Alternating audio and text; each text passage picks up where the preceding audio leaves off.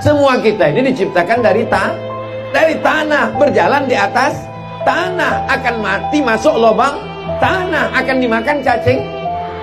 Yang disombongkan apa, guys? Makanya kalau ada tetangga bapak yang angku yang sombong dengan mobilnya, dengan rumahnya, dengan hartanya, dengan tanahnya, kasih tahu dia, kau dari tanah, aku dari tanah, kita jalan di atas tanah akan masuk ke lubang tanah dan akan dimakan cacing tanah. Begitu juga dengan ibu. Kalau ada mereka yang angkuh dan sombong. Pak Ustadz katanya kita dari tanah. Betul. Kalau memang dari tanah kenapa ada teman saya itu yang angkuh yang sombong? Dia dari tanah juga, cuman tanah sengketa.